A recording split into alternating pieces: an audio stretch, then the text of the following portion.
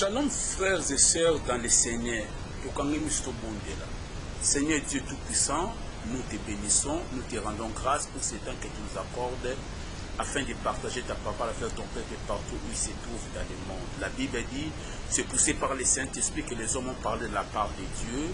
Utilise-nous comme des simples instruments afin de communiquer ta sagesse infiniment variée à ton peuple. Commence, chemine et termine avec nous au nom de Jésus. Amen.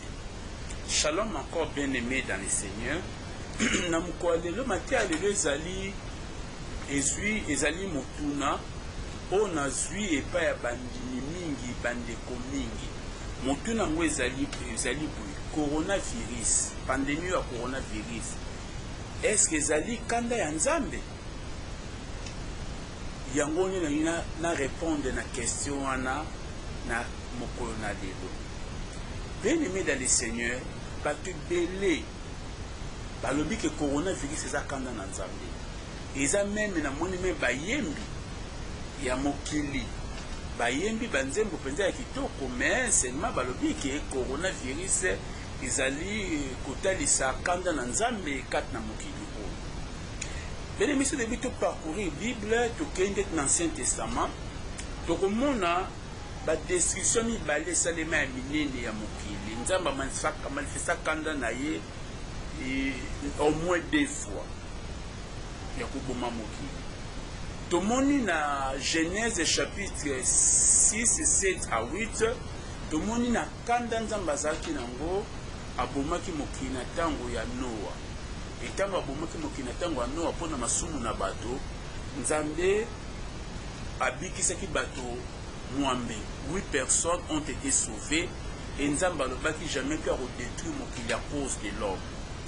Et soki toye na histoire ya Sodome na Gomorrhe, kuna na Genèse chapitre 19, tomona mpe masumu ya Sodome na Gomorrhe emataki kino epai na Nzambe, mpe Nzambe asilikaki, akitaki, Abomaki Sodome et Gomorrhe, mais tango abomoi yango a sauvaki quatre personnes, euh, Lot, mwasi na ye na bana na ye ya basi mibale, mais na kokima tango babimaki, mwasi ya Lot atalaki na sima akomaki libanga ya mungwa. Donc bato oyo babikaki eh, bakomaki na Tsoar, bazalaki kaka misato, Lot na bana na ye mibale. Ezalaki kanda ya Nzambe, toza toujours na Ancien Testament, Yesu nanu akufi te. Tokomi na Mokanda ya Jonas. Nzambe abina Jonas atelema mpo na kanda na ye ekomi na suka mpo na Ninive. Akoboma ville oyo. Atindi Jonas akende koteya mpo te ba, apesi bato oyo chance ya suka soki bakoki kobongola motema. Jonas akei ateyi bango na Jonas chapitre 3 verset 10, Bible ezoloba Dieu se repentit du mal qu'il avait resolu de faire. Suite à la repentance des Ninivites, donc Nzambe abongolaki makanisi na ye, makanisi oyo azalaki na yango ya koboma Ninive. Lokola bango mboka mobimba balelaki masumu na bango, Nzambe alongolaki kanda na ye likolo ya ville ya Ninive. Toza wana na Ancien Testament. Oyo ezo concerner biso plus eza nouveau testament. Alors soki toye na nouveau testament totali na ma est-ce que kanda ya Nzambe est-ce tomoni na nouveau testament Nzambe pe ko manifester kanda na ye pona koboma bato na nouveau testament est-ce que tomoni yango?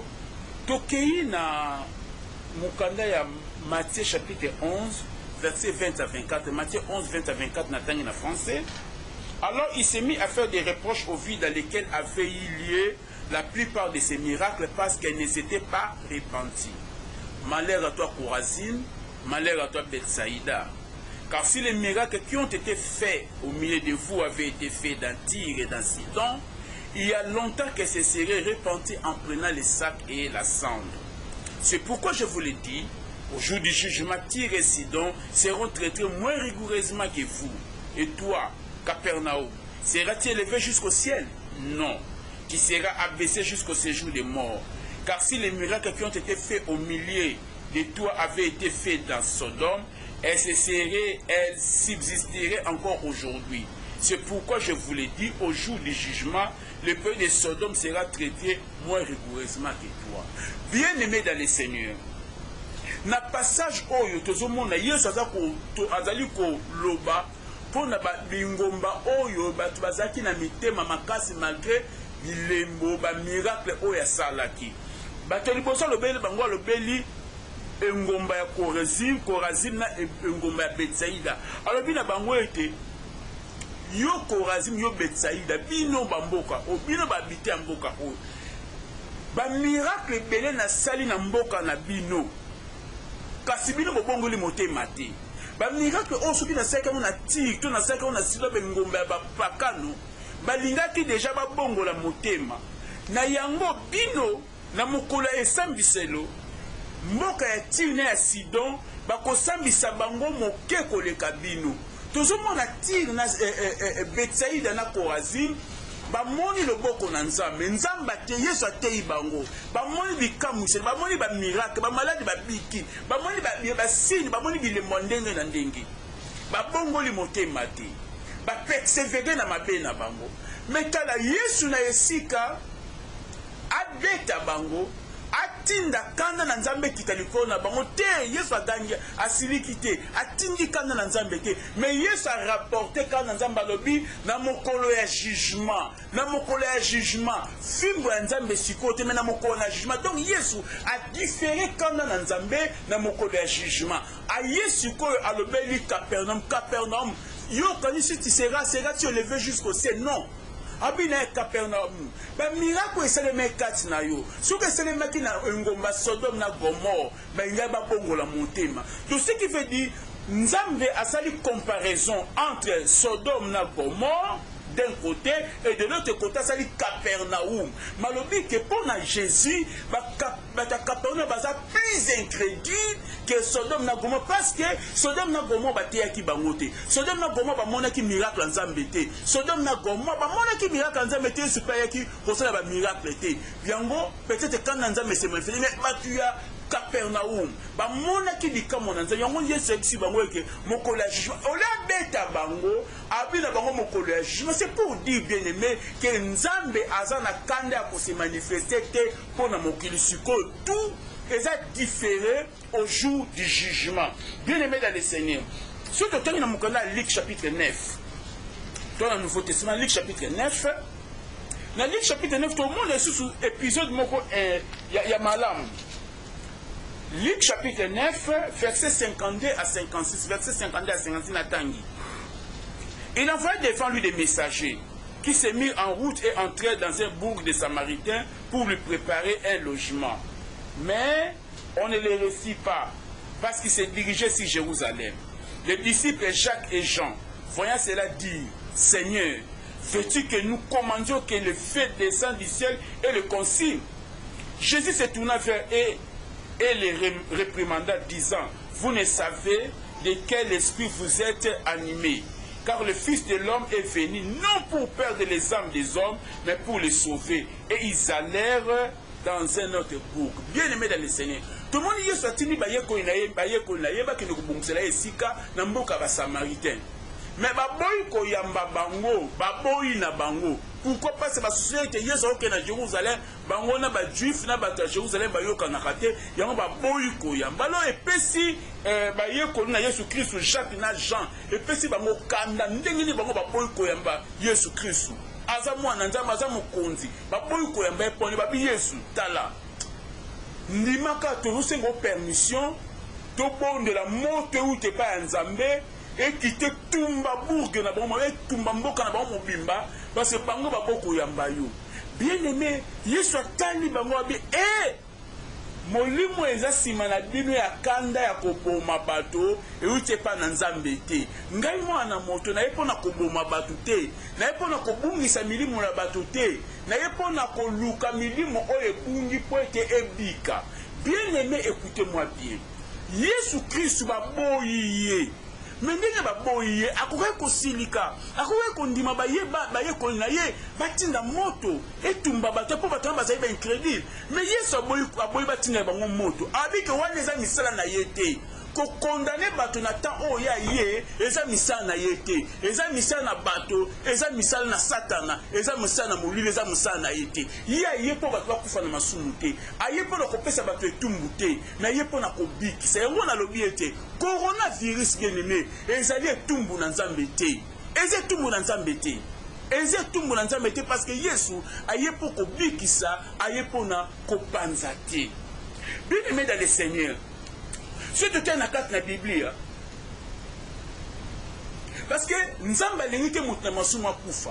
Yesu aboyaki bakitisa moto parce que soki bakitisaki moto Bato nionso balingai bakufa na masumu na bango, mutu alingai azala sauve. Voilà pourquoi il donne suffisamment aux gens le temps ya koyeba ye liboso bakufa, bien que beaucoup meurent sans connaitre le Seigneur, mais ce n'est pas que le Seigneur qui est l'auteur de cela, bango moko ils prennent la decision de ne pas donner leur vie au Seigneur, au moins le Seigneur leur laisse le temps bayeba ye.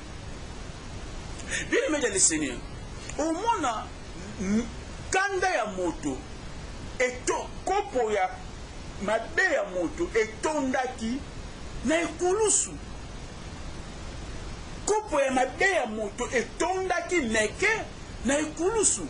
Tango babaki Yesu Kristu na ekulusu, tango babomi Yesu Kristu na ekulusu, Eye na mabe moko monene bato na mokili basala te, oyo ekokani na kobaka Yesu Klisto na ekulusu.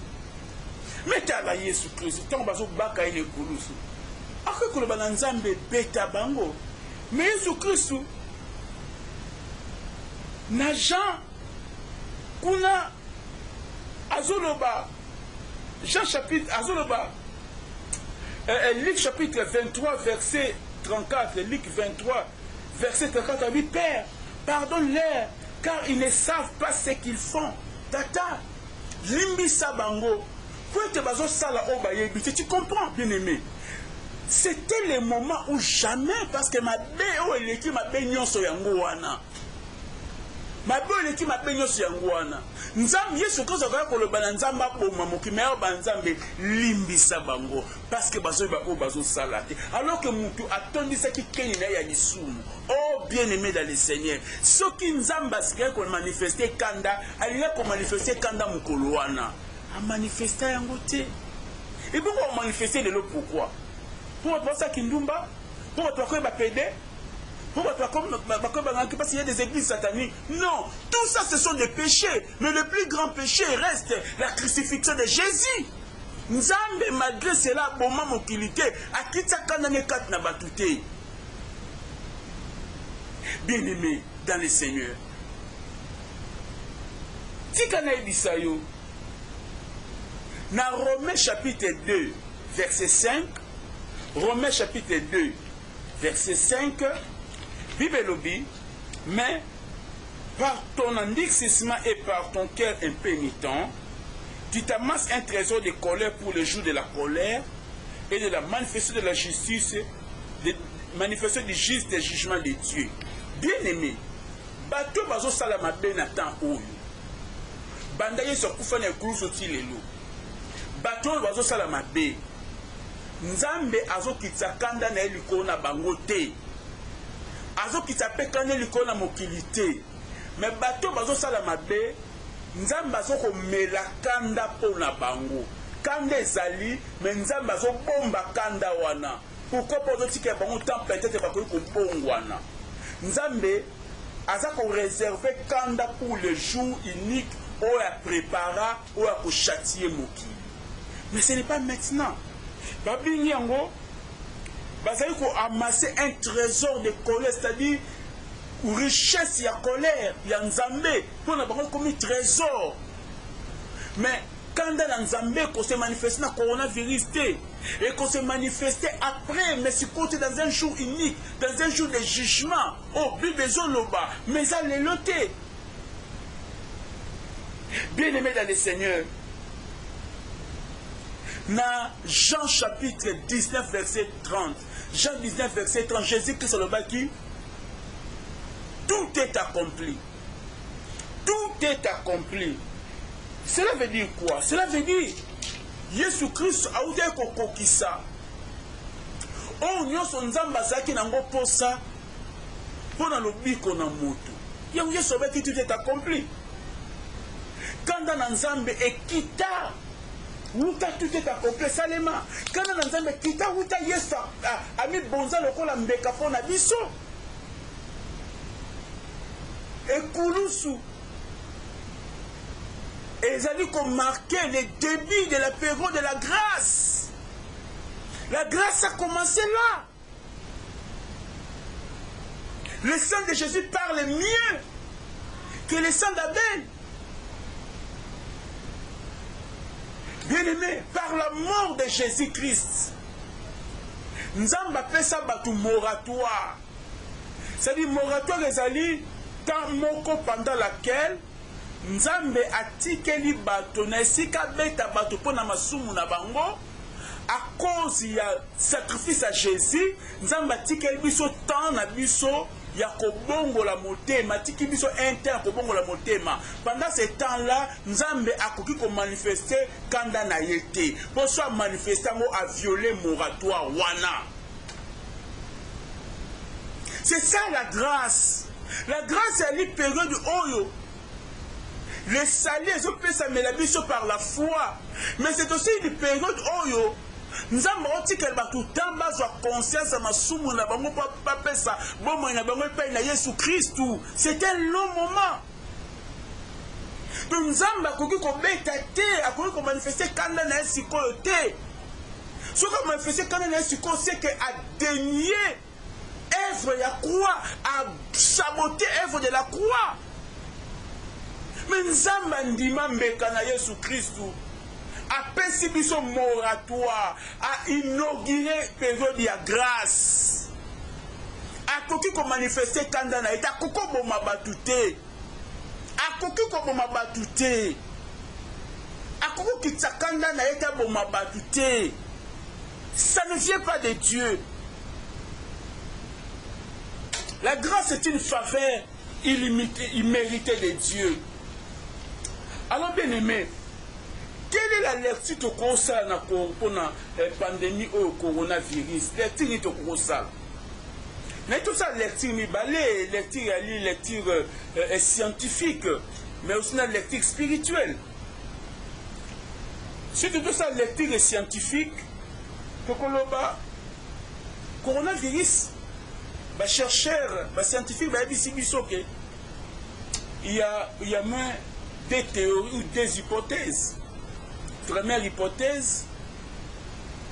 Euti epai ya chauve souris ngembo po babi ngembo aza na ba virus ebele kati na ye aza mpenza reservoir ya ba virus eh, chauve souris alors euh, coronavirus wana ekitaki epai na ye ekotelaki soit ngulu soit un autre animal et animal wana na contact na batu eye kopesa maladie wana coronavirus se transmettre na l'homme wana première hypothèse nyonso wana esalemaki kaka na asie on parle na chine deuxième hypothèse eza ke na laboratoire ya wuhan oyo eza na chine erreur moko esalemaki nde Eye kobota virus oyo epidevirus oyo tobengi coronavirus oyo ezo boma bato et ça c'est l'explication scientifique et kisi nango nanu ezuami te bazo luka euh, bazo luka vaccin et tozo tatone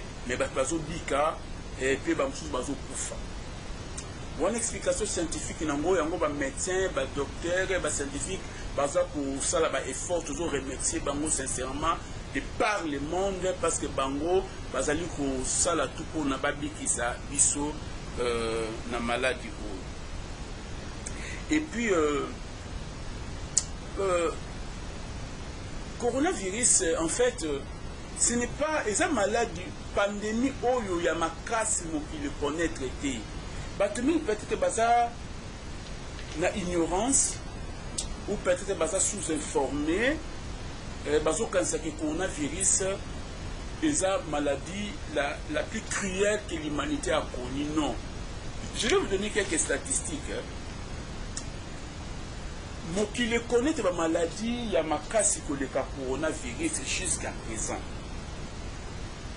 Nayebi te où coronavirus va nous amener, mais jusqu'au moment où je preche là, coronavirus n'est pas une maladie redoutable par rapport à d'autres maladies. Tozwi exemple ya premièrement peste noire. Eza maladie moko ezalaki na ba 14e siècle. Peste noire. Peste noire oyo ebomaki 50 millions de personnes dans le monde, dont 25 millions en Europe. Vous voyez? Ezaki pandemie. Tozui exemple ya maladi mosusu le typhus. Le typhus oyo ebomaki trois millions de personnes na Russie. Trois millions hein? Trois millions de personnes na Russie. Voyez-vous? Soki tozwi variole, bando babengi variole. Variole banda ebangaki ti na ebandeli ya 20e siècle awa Fariol ye moko aboma plus de 500 millions na bi 500 millions de personnes yango mpe ezalaki akanda nzambe tozwi tuberculose soki tozwi tuberculose natalaki na tozwi ka tuberculose na 2013 Tubeclose ye moko na 2013 abomaki 1.300.000 personnes. Eza kaka kanda Nzambe? Tozwi cancer na ba forme na ye nyonso. Cancer asa bomi 8 millions de personnes. Eza kaka kanda Nzambe? Soki tozwi sida Sida esi abomi 25 millions de personnes. Eza kaka kanda Nzambe?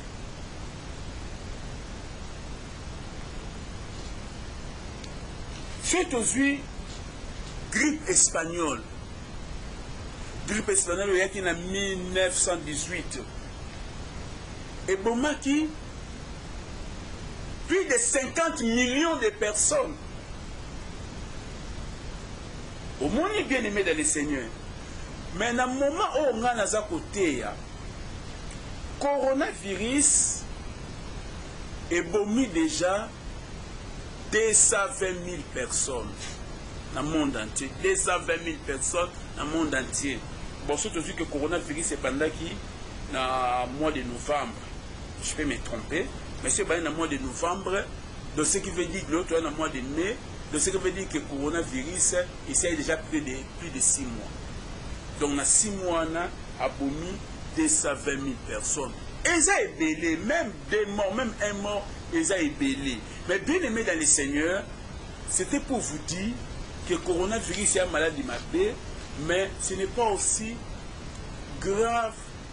que d'autres maladies mais eloko peut être ekomisa corona virus eza ko depasser biso toyoka ngo somo parce que corona virus akomisi maboko na yo premier ennemi na yo ennemi na yo liboso ekomi maboko na yo parce que il faut suka maboko à tout moment bapekisi osimba misu bapekisi osimba zolo bapekisi osimba munoko donc parce que okomi obanga maboko na yo maboko no azalaka serviteur na yo mais maboko no okomi obanga ye c'est ça le Problème ee ndenge batu ba ba classe esili, ba wenze eza, ba ba ba magasin ekangami, ba universite ekangami, ba misala ezo sala te, toza confine na ba ndaku, to bini mais tolata ba masque, c'est ce qui fait que tomona ngo grave, oui eza grave parce que eye ko bouleverse ba habitude na biso, mais par rapport ya ba maladie mususu, coronavirus eza Malade ya makasi te mais le fait que ezo boma batu eza très dangereux, c'est une maladie à ne pas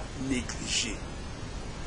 Alors soki elingi nazua approche spirituelle ya maladi oyo coronavirus, bien aime de le Seigneur, eloko ya boso naloba d'abord beaucoup de versets oyo bandeko mosusu bazopesa mpo na koapuye ke coronavirus eyali kolera nzambe Eza ba verset ya ancien testament. Ba verset ya ancien testament etali biso te parce ngai naza mutu ya ancienne alliance te, eglise toza batu ya nouvelle alliance. Bozwa ba verset ya Deuteronome ba pesa biso oyo ba ba nzambe abaki asili kaka kotinda ba malade ya ndenge na ndenge te.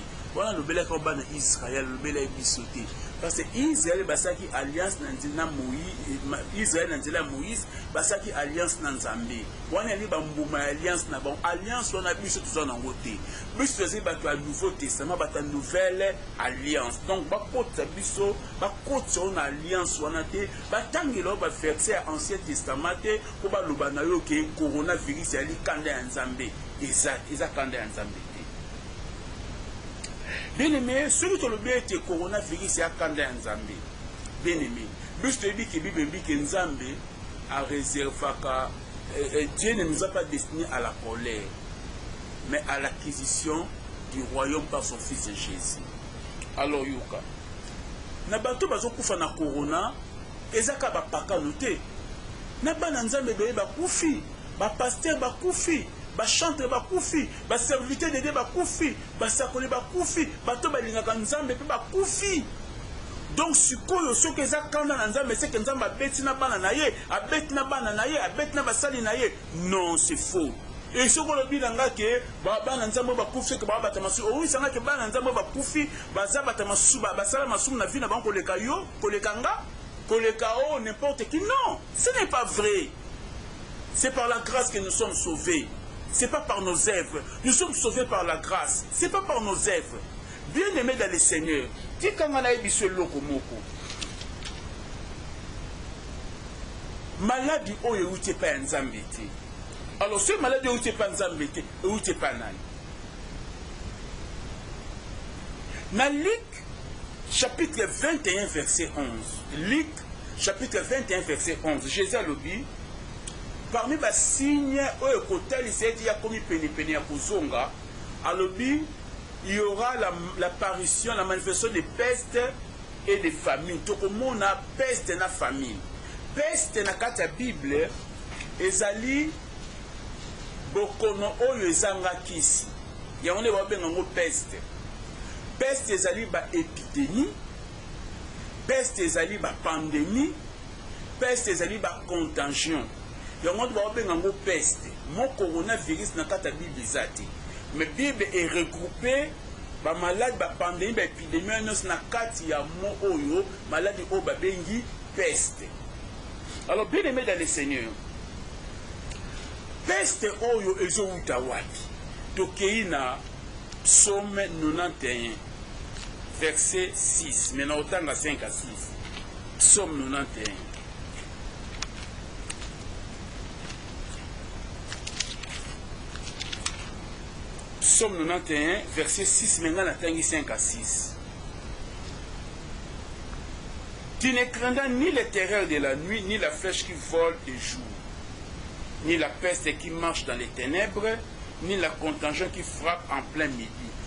Barbie okobanga te maladi ya peste oyo ezali kotambola na molili epesi biso indication la peste ezali maladi oyo etambolaka na molili or molili ezali bokonzi ya satana molili ezali kotalisa misala ya satana Peste ezali manifestation ya mosala, misala ya molili.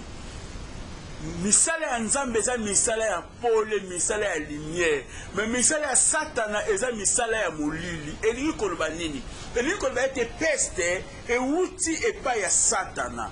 Peste ewuti epai, ezali manifestation ya kanda ya Nzambe te, mais peste Ezali manifestation ya kanda ya Satana na mokili. Kobosana te, bien-aime, Satana ayebi ete temps na ye etikali moke. Lokola temps na ye etikali moke, azali kobwaka ba bombes na ye, azali kobwaka ba maladi na ye, azali kobwaka makambo ya lolenge na lolenge mpo ete abebisa bana na Nzambe, mpo ete aboma moto oyo Nzambe akeli na elingi na ye. Yango ete Satana. atindi peste bien aime atindi maladi o en realite sur le plan scientifique tobenga yango covid 19 mais sur le plan spirituel nabenga yango esprit de mort bien aime dans le seigneur eza esprit de mort yango nalobaki tosala deux approche approche scientifique na approche spirituelle na approche spirituelle nalobi ete eh, eh, eh, coronavirus eza esprit de mort Oyo ewuti na deuxième monde, oyo ewuti epai ya satana, ewuti na sphère satanique, abwaki yango na mokili oyo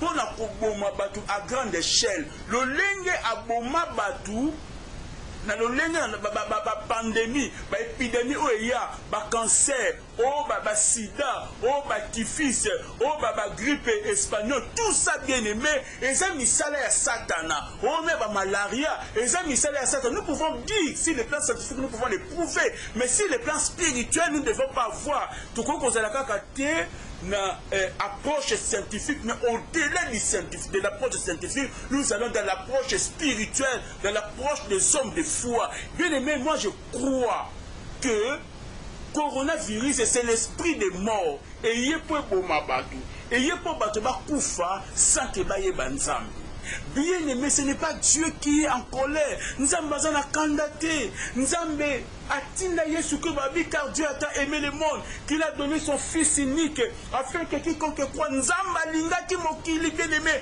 nzambe alingaka mokili na tango yesu Christ akufaka lelo nzambe alinga yesu mokili te c'est faux Dieu a tant aime le monde Dieu aime le monde voila pourquoi il a envoye Jesus yesu kristo akufa mpo na kaka bato ya epoke na ye te akufa mpo na bato bayaka avant ye akufa mpo na bato bazalaki na epoke na ye akufi mpo na epoke na biso akufi mpo na epoke ekoya apres biso soki nanu ye azongi te la mort de jesus christ est bien aimé jesus christ est venu pour les hommes il est venu pour nous sauver et jesus christ bien aimé azali elembo ya bolingo na nzambe mpo na mokili nzambe alingaka moto Nzambe alingaka mokili, aza na tina agangela batu te, a na tina aboma mokili te pona masumu, bien aime, a chaque fois que mutu akufaka ayebi Nzambe te, ezalaka lo motema ya Nzambe esalaka pasi, lola ezalaka na lokola na mawa, yango bible elobi ete soki mutu moko abongoli motema, lola ezalaka na esengo, fete esalemaka, tika nayebisa yo. Coronavirus ezali kanda na nzambe te longola yango na mutu na yo eza kanda na nzambe te mais coronavirus